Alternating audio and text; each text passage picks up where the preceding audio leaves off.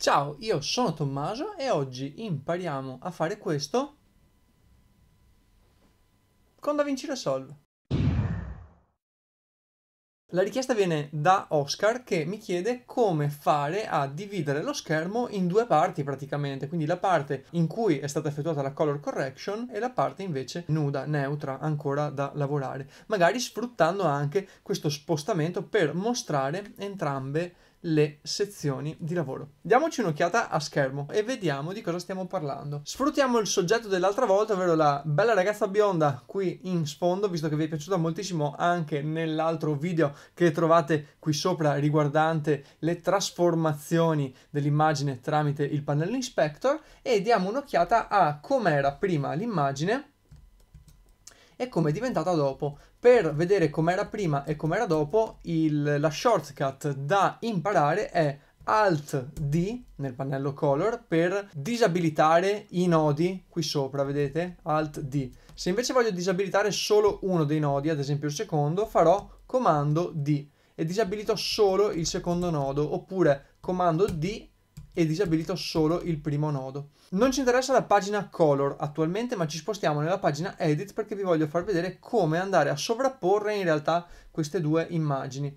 Eh, togliamo un po' di eh, roba. Se avrete piacere, in un prossimo video vi farò vedere come suddivido la timeline e come organizzo le varie tracce video piuttosto che le tracce audio. Prendiamo il clip che ci interessa, ovvero questo qui, e andiamo semplicemente a duplicarlo posizionandolo sopra. Come si fa a duplicare un clip? Sempre nella pagina delle shortcut che ricordatevi dovete avere a mano ragazzi se non ve la siete ancora fatti fatevela un bel foglio con tutte le shortcut di DaVinci Resolve e ogni volta che ve ne dico una ve la scrivete sul foglio all'interno del corso completo che trovate qui sotto e di cui c'è ancora uno sconto sempre qui sotto in descrizione trovate il corso completo dove appunto vi parlo di tutte le shortcut possibili e immaginabili che potete trovare all'interno di DaVinci Resolve. Abbiamo duplicato la nostra clip, ci spostiamo nuovamente nella pagina Color e la clip che abbiamo appena duplicato, vedete che sono diventate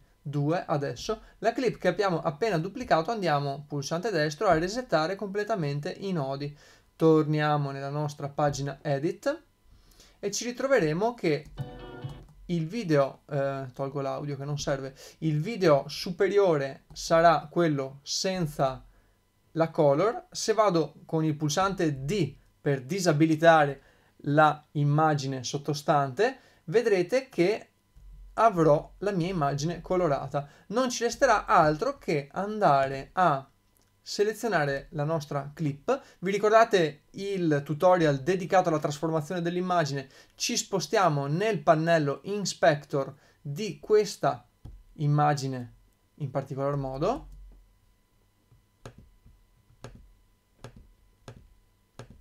Eccola qui.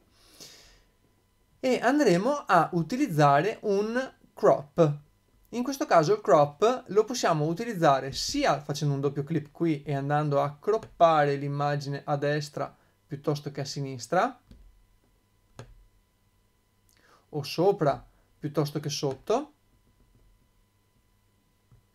Ma se eh, facciamo questo riusciremo solo ed esclusivamente a mantenere la nostra immagine stabile. Quindi mh, mm, che ne so eh, prendiamo a metà la ragazza e gli daremo play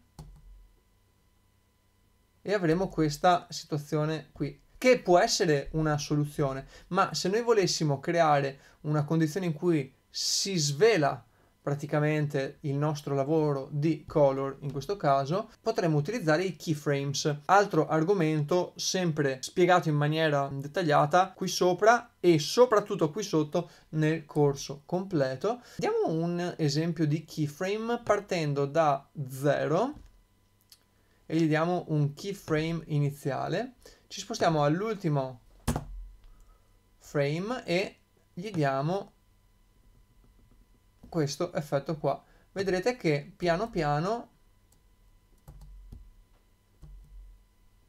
la clip si andrà a colorare.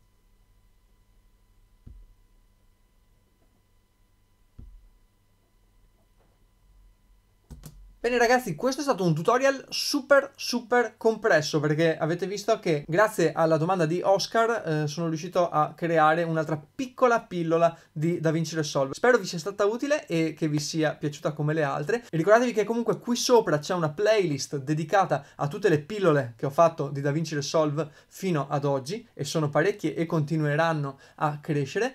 Eh, ricordatevi di iscrivervi al canale, ricordatevi di cliccare la campanellina per rimanere aggiornati sull'uscita dei prossimi video video. Il martedì ci vediamo online in diretta, il mercoledì ci vediamo con le video produzioni e con le recensioni. Il giovedì ci vediamo con i corsi di DaVinci Resolve. Non mi resta che salutarvi, ci vediamo con il prossimo video. Ciao!